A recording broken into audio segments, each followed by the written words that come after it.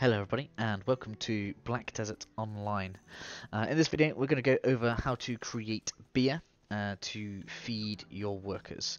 Uh, so we're going to have a little bit of a kind of overview of a lot of different types of things in here, uh, but anything that you wish for more information on let me know. Uh, I am going to try and do kind of overarching videos on all of the different aspects of the game. Uh, but for this one we are going to be concentrating on the creation of beer. Uh, this is great for A, feeding your workers, B, leveling up your cooking skill.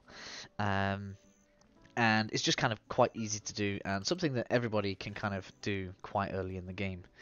Um, I had a few issues recording this, I don't know why, so some of this may not be quite as good as I would like to, but it should be pretty complete anyway. So first things first, you're going to want at least four contribution points, uh, and I would say five is probably a bit more comfortable. Uh, I'll show you why right now. Um, so uh, basically what we're going to need to do uh, well, actually, you don't actually need to do this, but if you need to feed your workers, this is why you're going to need to do it anyway. So, uh, first up, you're going to want to um, activate one of these nodes. Now, to do this, you just simply go and visit it. Uh, the guy in the middle there, he is going to be, he or she is going to be the person you speak to. You talk to them, uh, invest two contribution in the farm, uh, and then you'll need to invest a further two in the actual potato farm, which is why we need four contribution points at minimum. And I recommend a fifth one just so you can kind of have a residence in here. In fact, you are, are actually going to need that to do the cooking that we're going to do. Um, so, uh, with all that done, the reason you're going to do that uh, is because you're going to need potatoes. Um, now, you can use any kind of starchy type uh, vegetables. You can use like corn, sweet potatoes, and other stuff. Uh, but I find with its close proximity to uh, Velia, which is very, very early in the game. Uh, we have three nodes here, and all three of those are actually gathering potatoes for me right now. So if I click on here, you'll actually see uh, I have potatoes building up in my warehouse as well. Um, now, the next things that you're going to need are very, very easy to get. Potatoes are the hardest thing to get out of everything here. So with how easy you've just seen that was, uh, this is all simply purchased from a vendor. Now we're going to go and speak to this vendor now. Um, just because then everything kind of goes in order for me. So, uh, we're going to do acquisition first. So over in this inn, we have here um, the, I should probably come out this, we have the actual vendor here. Uh, and in here you're going to find your sugar, your mineral water, and your leavening agent. I'm going to come out of here because it's quite noisy in here, just so you guys can hear properly. Um, so, uh, looking back in the inventory here, for one beer, you're going to require five potatoes. So we've got enough stuff here to create six. Um, so you'd, you'd need five potatoes, one sugar, two leavening agents, and six mineral water. So um, we have we obviously have enough here to create six beer. Down below, uh, these are the byproducts you're going to get for creating beer as well. So you can use these for various different things. Uh, it all shows you on the tooltip, so none of it's kind of hidden or anything. So this we can actually turn in for even more beer uh, in Heidel, which is a the next city that you'll end up going to. So doing this early is actually probably going to be pretty good for you. Um, you can get some extra silver as well. Uh, as well as cooking experience, uh, some milk, which is kind of handy, and um, some other stuff. So that's kind of cool.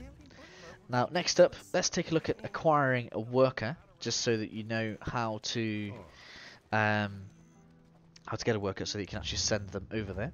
So next up, we have the actual um, hire a dude. Uh, although kind of more work supervisor is more of a slaver. He basically sells you people. Now, I can't actually contract workers right now because I don't have the energy. You require five energy to view. Uh, and unfortunately, kind of I used that in my previous attempt to record in this. Uh, but essentially, you'll view the worker, um, and you'll get like a choice of different workers. So we'll take a look at those. Um, so on your map screen, in the bottom right hand corner here, you have your list of workers. Uh, obviously, I've got one that's idle, a couple that are idle at the minute, so I'm going to send some of those out to work now. Um, so down here, uh, this farm is available for me to work on. Uh, now I've decided, uh, this is kind of a retrospective thing, that I prefer uh, to use a giant just because they require less micromanagement. Goblins are faster, uh, and so if you're on a lot, these are going to be best. Uh, but if you like me, you don't have tons of time, the giant worker is going to be best. Uh, so here, uh, I can send him to start working now, but he'll only go one time. So I recommend changing this. Now he can go 25 times, that's his stamina. So I'm going to go on here, we're going to change this to 25. And he is going to go ahead and farm me a load of potatoes. Now let's go back onto this work list here. Uh, well, I can't see anybody. Town. Hey, why is that working? Come here. Let's go back onto our worker list. Now, as you can see, each of these has uh, like a yellow bar, and that is representation of their stamina. And the beer that we are creating now is what we're going to use to restore that stamina. Okay? Uh, and I forgot to show something. So let's just go back over this way. Back at the vendor inside of here, you're also going to need to buy the cooking utensil. It's the top left thing, you can't miss it. Um, that's entirely my fault, guys. But you'll see what that is in here. So, this is our residence. Oh, what's happening here? That's not what I want. Enter. Why enter? Oh, let me. Uh, what? That's weird. Why? Why is it doing that? What? No. Storage?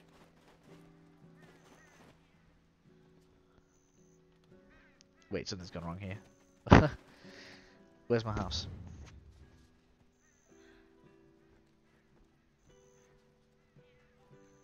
Where's my house? Right, give me a second, guys. Okay then, guys. So carrying on, I clearly must have gotten mixed up uh, my house is actually around the corner. um, I mean, it's been a while since I've been here, but I was pretty sure that was where I lived. Uh, mainly so they could have it all together like that, because uh, I do like things to be to be fairly together. But I imagine there's probably some storage reason as to why I put that up there. Uh, so where is it? My, the entrance to my house is right here.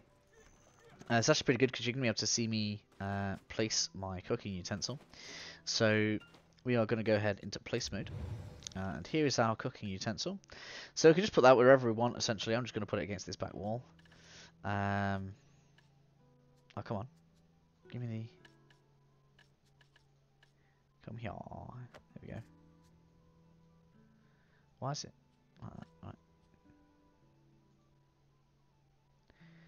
Come on, let's put it in the middle of the room. There we go. Uh, confirm. There we go. Spacebar. Cool, so we exit out of here.